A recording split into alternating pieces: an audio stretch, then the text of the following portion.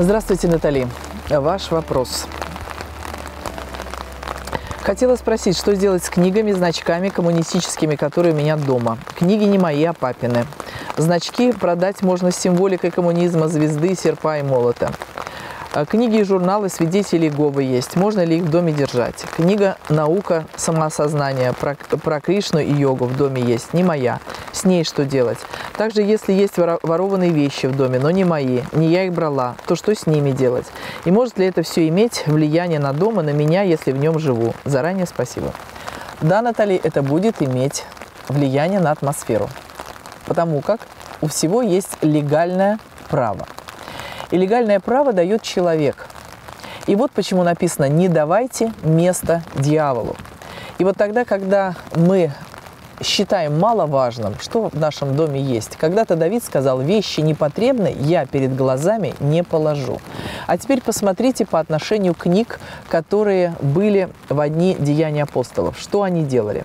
Многие же из уверовавших приходили, исповедуя и открывая дела свои. А они много занимались оккультизмом, там, в языческом мире, где апостол Павел проповедовал. А из занимавшихся чародейством довольно многие, собрав книги свои, сожгли перед всеми и сложили цены их, и оказалось их на 50 тысяч драхм. С такой силой возрастало и возмогало Слово Господне. С одной стороны, если это лежит на вашей территории, то вам надо разбираться, почему оно у вас. Если это чужое, надо отдать.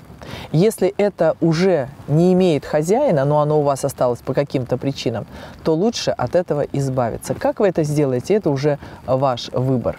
Но на самом деле нет пустых знаков и символов, которые были привнесены в нашу страну через оккультизм. И в данном случае я вам совершенно основательно могу говорить, что символика Вавилона, серп, молот, звезда, тем более опущенная э, одним концом вниз, это вообще символика сатанизма. Поэтому будьте аккуратны, чтобы эти символы не окружали ваш дом. Потому что разорений может быть много от них, или, по крайней мере, атмосфера создается через это. Но я не хочу, чтобы мы переложили свое поведение и ответственность за него на знаки только.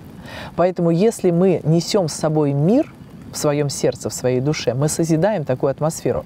Но опасные форточки и двери лучше закрыть чтобы туда не проползали никакие змеи из духовного мира и не оказывались опасными в самый неподходящий момент. Поэтому наведите порядок в своем жилище.